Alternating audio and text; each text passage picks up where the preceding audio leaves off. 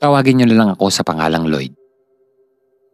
Nais kong ikwento sa inyo ang naging karanasan noon ng aking lolo Jose.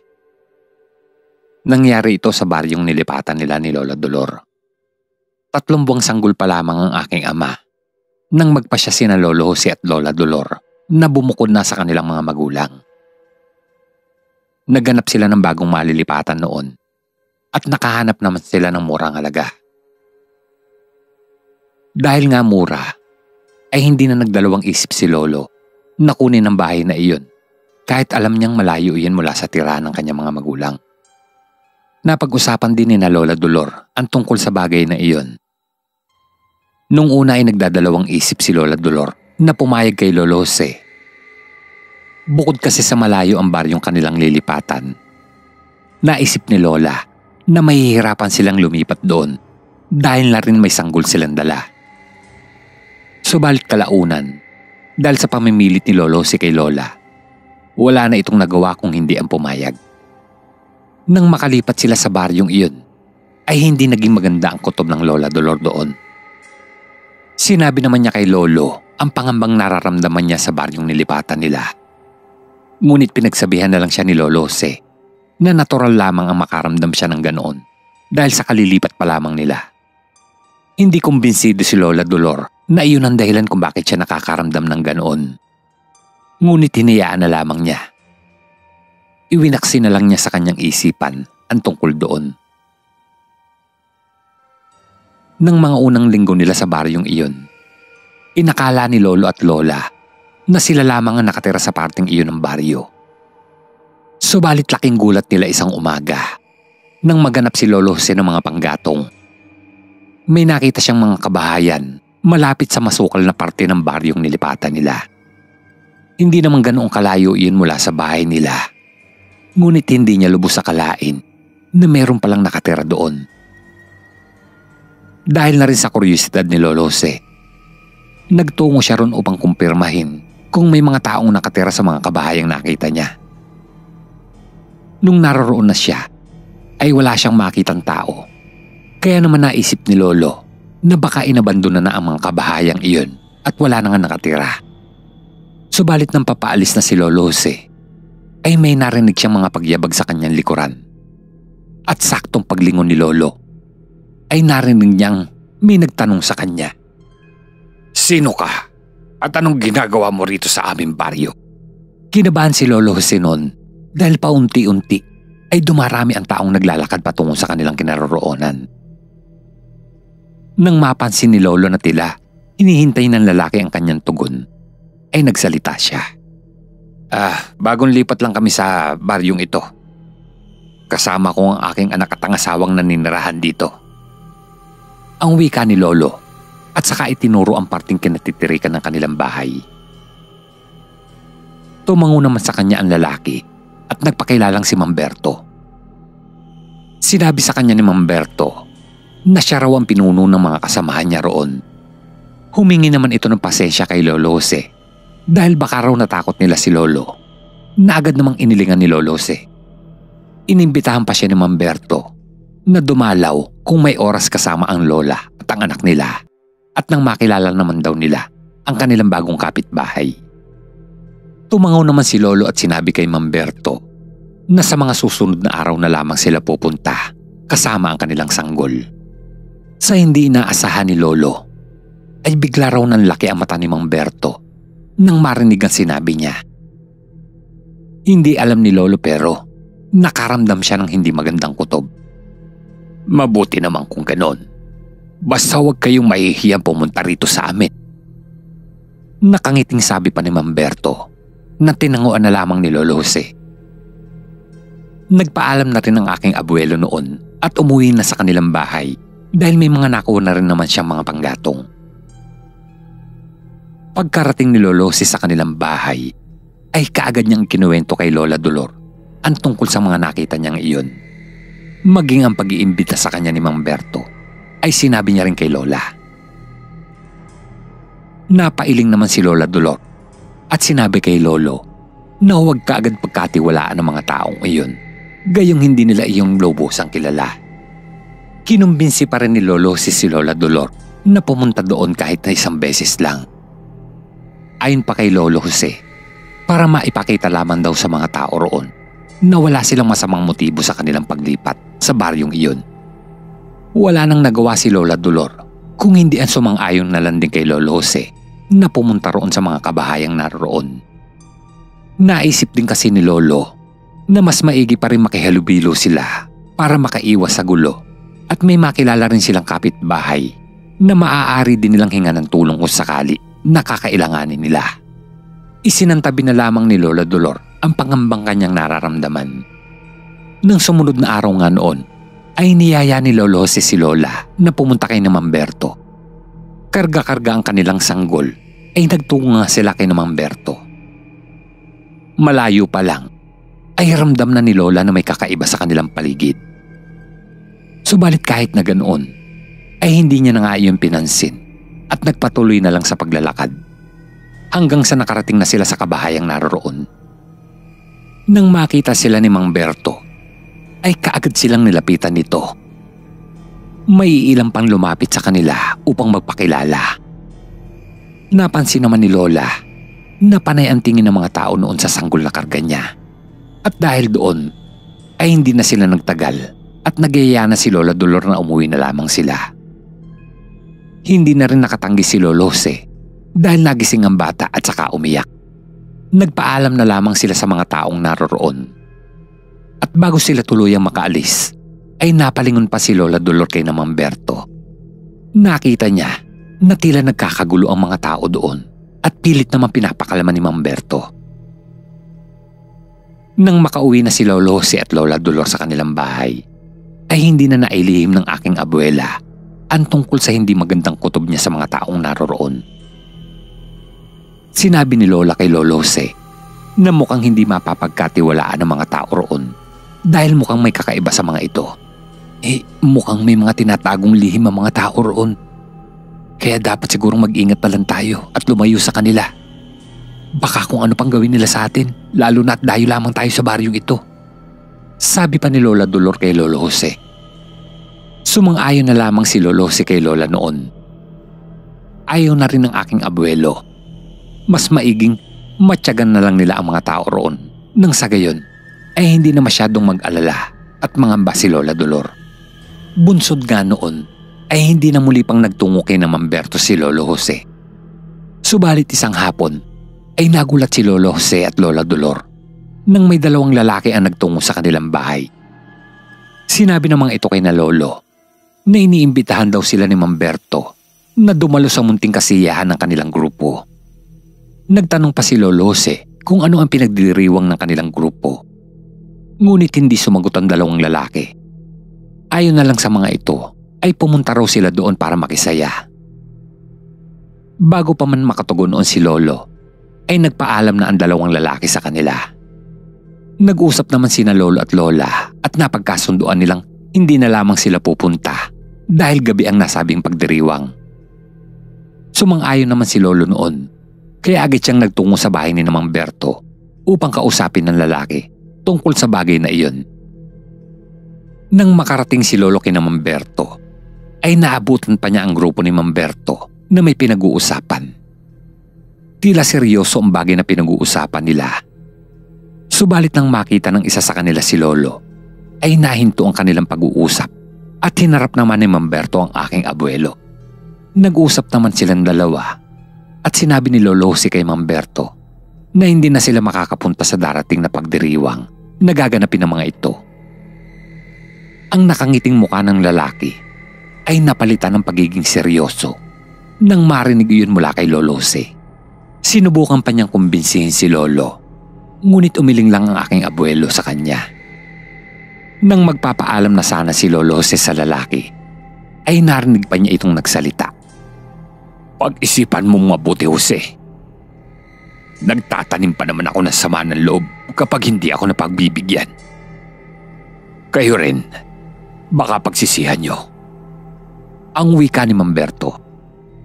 Hindi na lamang ito pinansin ni Lolo at nagpatuloy na lang siya sa kanyang paglalakad pa uwi sa kanilang bahay.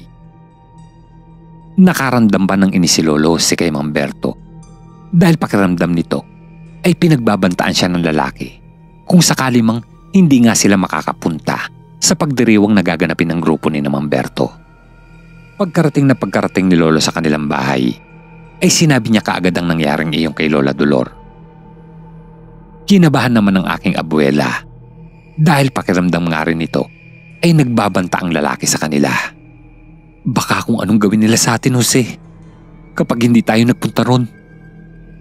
Ang sabi pa ni Lola, nahalata ang takot at pangamba sa kanyang boses. Umiling naman noon si Lolo at sinabihan si Lola na wag na lamang mag-alala dahil siya na ang bahala. Sumang-ayon na lamang ang aking abuela at hindi na nga inisip pa ang tungkol sa mga bagay na yun. Lumipas pa ang mga araw at dumating na nga ang gabi ng pagdiriwang ni Namamberto. Habang nakahiga, ay napapaisip si Lolo Jose kung pupunta ba siya roon o hindi.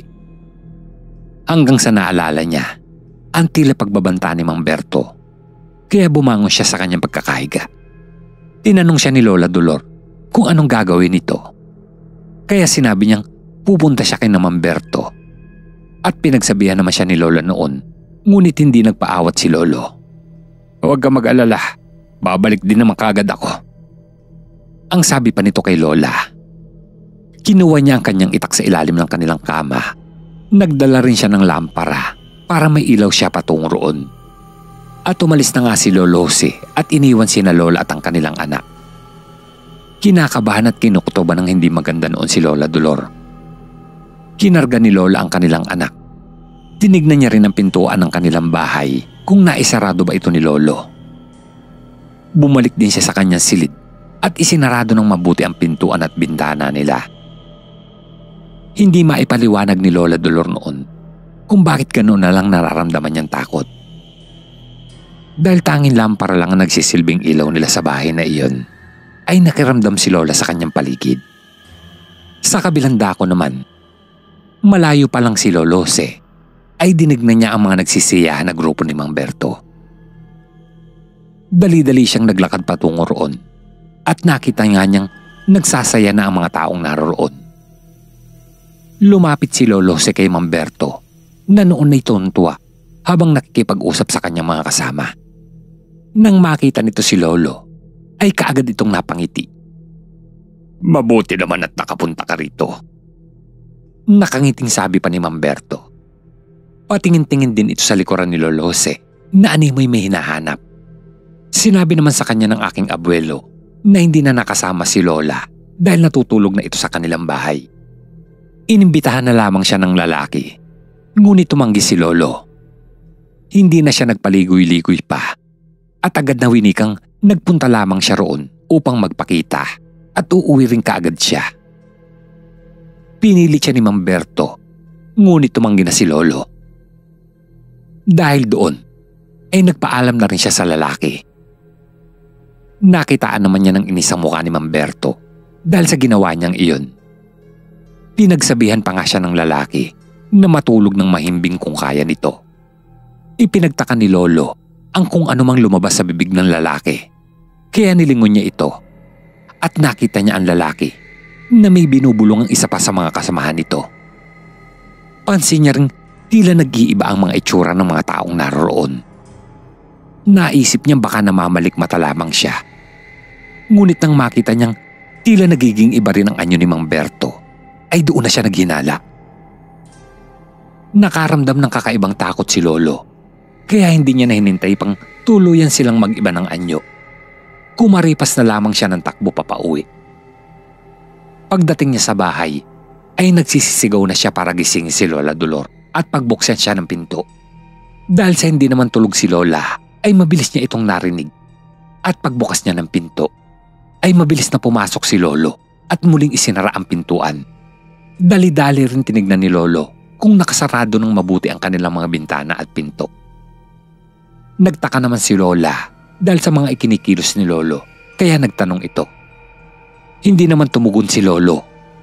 Nagtungo lang siya sa kanilang kusina upang kunin ang mga bagay na maaari niyang maging armas. Kinuha niya ang garapon ng asin at iyong isang may kahabaang kahoy na nakasandal sa haligi ng kanilang kusina. Mabuti na lamang dahil nangawi siya kanina at tuwing gabi ay ipinapasok nila ito sa loob ng bahay para hindi mabasa kapag umuulan. Gamit ang itak ay pinatulis ni Lolo ang dulo nito. Nang hindi makontento ay itinali na lamang niya ang itak sa kahoy. Si Lola naman ay mangyak-ngyak sa kakatanong kung ano ba ang nangyayari. Ikinuwento ni Lolo na aswang ang grupo ni Mang Berto. Kaya napaiyak na si Lola. Nilatagan ni Lolo ng kumutan lupa ng sahig sa kubo nila. Sa gitna niya pinapwesto si Lola, nakalong pa rin ang anak. Kinuha rin ni Lolo ang rosaryo na nakasabit sa pintuan ng silid nila. Ibinigay niya iyon kay Lola. Magdasal ka, Dolor. Ang utos ni Lolo bago sumilip sa bintana. Rinig na niya ang mga papalapit na yabag. At hindi nga siya nagkamali dahil may mga naglalakad na nga papalapit sa kanilang bahay. Sinenyasan niya si Lola Dolor na huwag gagawa ng ingay dahil may mga tao sa labas. Sinipat ng mabuti ni Lolo kung sino ang mga iyon at napagtanto niyang mga kasamahan iyon ni Mamberto.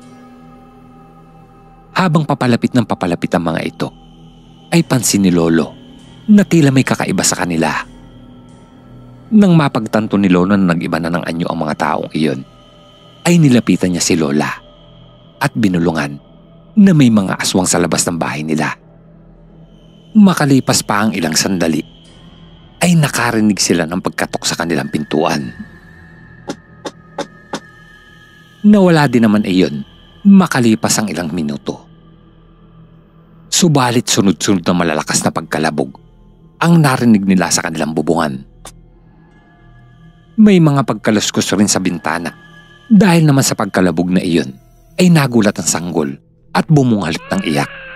Pinilit ni Lola na patahanin ito pero nagpatuloy lamang sa pag-iyak ng sanggol na tila ba ramdam ang panganib na nasa labas ng kanilang kubo.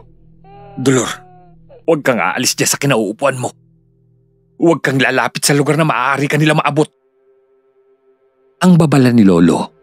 Dahil doon ay napaiyak si Lola Dolor habang nananatiling nakaupo sa kumot na inilatag ni Lolo sa lapag. Iniabot din ni Lolo si ang isang garapon ng asin kay Lola at nagbili na hagisan ng asin ang sino mang makakapasok sa kanilang pintuan. Paniniwala kasing mahapdi sa balat ng mga aswang ang asin. Naging agresibo naman ang mga aswang sa labas nang marinig nila ang pag-iyak ng sanggol. Ilan sa mga ito ay naggaan yung aso at nagsipag-alulong. Naging alerto naman si Lolo Jose at mas tinalasan pa ang kanyang pakiramdam.